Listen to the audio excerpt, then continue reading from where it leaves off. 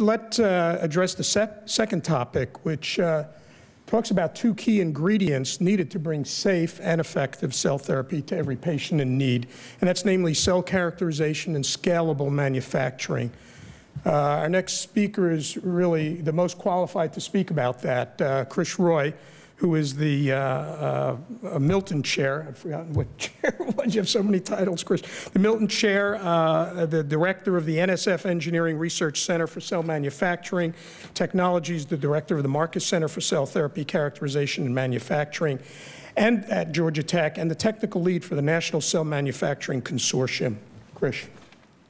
Thank you. Um, thank you, Fred, and thank you, Janet, and everyone else for um, inviting uh, me here. I'm going to talk uh, from an engineer standpoint. I, am almost going to guess that I'm probably one of the very, very few engineers in this room. Uh, and so um, uh, how do you take these promising therapies? There are a few here. There are many uh, outside of this uh, few that you have heard of. And how do you actually make them into a product? Because if we are going to treat 100,000 patients, a million patients, 10 million patients, that needs to be an industrial product. And so we work very closely with industry, we work very closely with uh, many uh, partners to think about that. So I'll, I'll talk a little bit about that in the few minutes to have. So the fundamental problem, and we got to take a step back, and I'm really talking about cell therapies and regenerative medicine here, is that we are probably for the first time in human history trying to large-scale manufacture a living product, something that is living, that is completely different from boats and automobiles and everything else that are inanimate objects. We are fantastic at manufacturing those. We never have large-scale manufactured a living product that changes its properties with every manipulation we make. I take a cell from this petri dish, put it there, it changes. Whether that change is relevant or not, I don't think we know yet. So let's think about that as a product. This is a very complex product. We have the cell, which itself is a complex system. It has proteins, DNA, RNA, lipids, carbohydrates. Any one of them would be a drug by itself. So when we are putting a cell in, we are literally putting probably anywhere between 100 to 1,000 drugs at the same time in a same patient without really knowing very well what it's going to do or each of those components are going to do and what they do collectively in that patient. We have the manufacturing process, and as I said, you change the manufacturing process, you change the product. And then we have the patient, and in which patient, um, I'm sorry, uh, and in which patient this is most effective is still fairly unknown. And we need to really think about one particular cell is not going to be treating every disease out there and in every patient. So we need more knowledge. And, and that is that whole process of creating this multi-scale complex system. So we first started this with a grant from NIST through the Advanced Manufacturing Program. This is uh, a roadmap, and I think you uh, have a copy of that roadmap uh, outside on the, on the table. Uh, we worked with uh, over 16 universities and 25 plus industry members and many members from the FDA and NIH and the government uh, to provide uh, sort of thought leadership in this process, which resulted in this uh, roadmap that we published in 2016 and then updated in 2017, and a new update is going to come out uh, this fall, where we really thought about what are the challenges and barriers in that scalable production of promising cell therapies as we go along. And there is a laundry list of things that industry wanted us to do to de-risk them and to actually deliver the promise of these things uh, to millions of people around the world. And I'll try to summarize a few of these here. Um, and if I don't get through other slide, this is probably the most important slides here. The, it is, to me, a question of quality, quality quality. And that relates to safety, that relates to efficacy. The quality control and quality assurance that are in place currently has probably very little to do with the function of those cells in a particular patient group. So we need to do better. We very little know the mechanism of action of these complex, quote unquote, drugs in a particular disease or a particular patient population.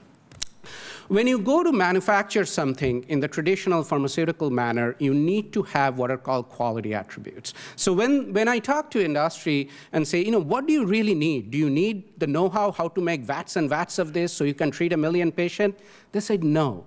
Just tell me what do I need to do to control quality that I have the safest product every batch I make, everywhere I make around the world, right? So that measurement of quality attributes is still undefined in many of the therapies that we do. And how does that manufacturing process affect that quality? This is, again, in a chemical engineer's term called critical process parameters. We must know process parameters so we can control them, we can fix them, so out comes a product that is very defined. I am always given this example. You go and buy an aspirin here or in Atlanta or in Thailand or in India, you get the same thing every time, pretty much the same thing every time.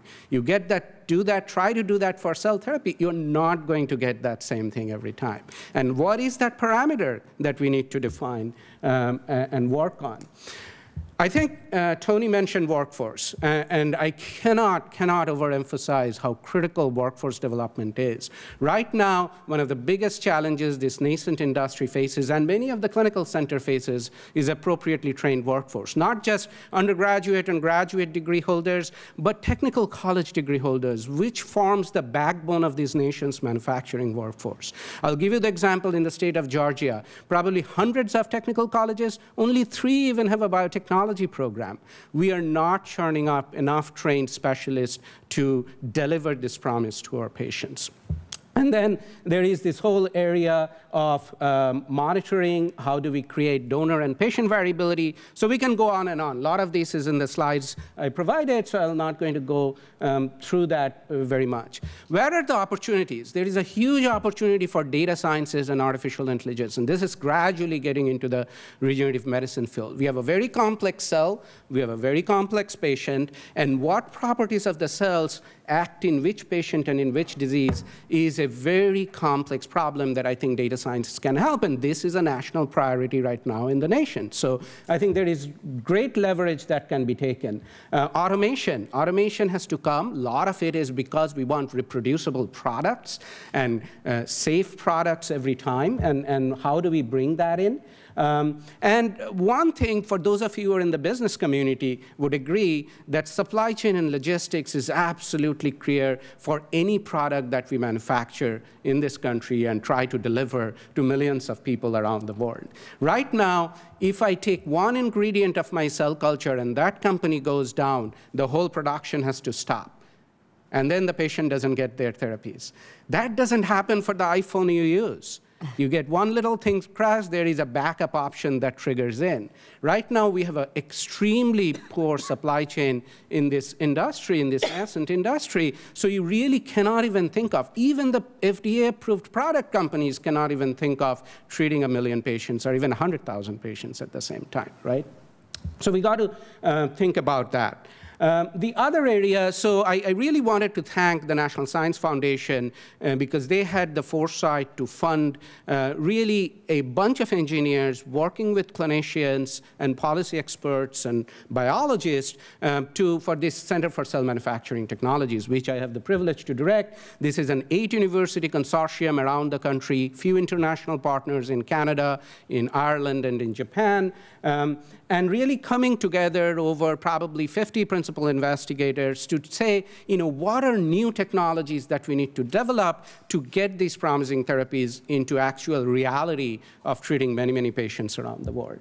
Uh, and also to the Marcus Foundation, because they had come in with a philanthropic gift to us as well to exactly answer the same question. So this is a true public-private partnership uh, where both philanthropy and federal funding has come in. But I would tell you, you know, one thing uh, I, I, say uh, quite a bit is that a lot of other countries has gone ahead of us. I think some of that was brought earlier. Um, Canada, Japan, UK has really invested tremendous amount of this, um, and many US companies are going to them to find solutions uh, for their next product, and that is really not helpful uh, for our country.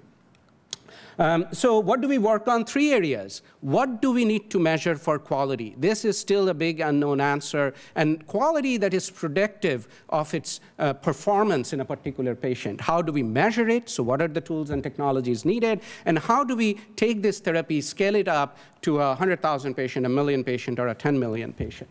And really the output, uh, we talked a little bit about standards at the beginning. There is very little standardization right now uh, in that that we need to work work on. Um, and so there are a lot of efforts going in in this process. I want to end with two things. There are quite a few uh, thought leadership going in this. The National Academy has a forum on regenerative medicine that, that I'm a part of, um, and the standards coordinating body, and then there are other organizations that are looking into standards. And there are uh, you know, international discussions happening, for example, at the Vatican, for example, um, that really asks about access. Who are these therapies going to be accessible to? Is it uh, just for the rich few uh, in the richest countries of the world, or is it for everyone in rural America uh, or everywhere else? So we need to think about these issues as we go along. So I'll stop there and leave that slide up there for you to read through.